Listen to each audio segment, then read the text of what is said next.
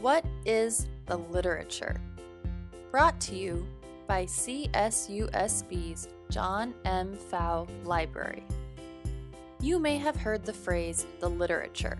In this video, we'll explain what exactly the literature is and we'll explore the ways in which the literature is different from the information we encounter in our everyday lives. Finally, we'll take a look at the role that attribution plays in helping us to navigate and make sense of the literature. So, what is the literature? In short, it is the body of scholarly work in any given field. We sometimes think of the literature as the conversations that scholars have with one another over time. These conversations are more formal than just having a chat over coffee, however, and are had through the publication of sources like journal articles and books.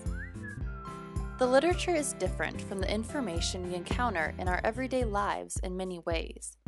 First, the scholarly sources within the literature are considered to have a greater level of authority than popular sources because they are created by experts like your professors.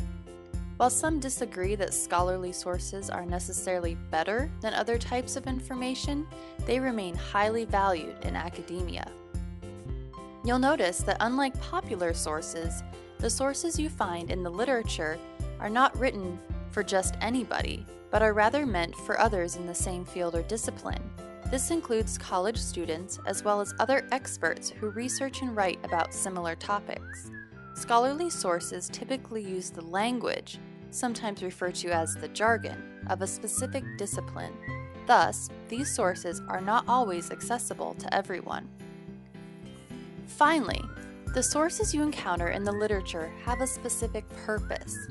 Unlike popular sources, which can give us facts, entertain us, or try to persuade us, the literature typically includes more analysis, which is a big part of what scholars do. Often, you will find that within the literature, there are more questions posed than questions answered.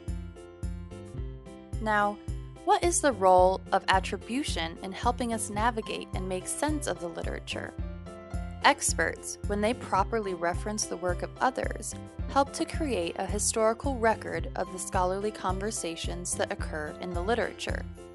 Because scholars want to be able to trace ideas back to their origins and see how these ideas have been contested, challenged, or embraced over time, this historical record allows us to do just that. When scholars reference other sources, they give credit where credit is due. Because ideas have value, attribution is the formal tool that scholars use to recognize the work of others. So, what exactly does attribution look like?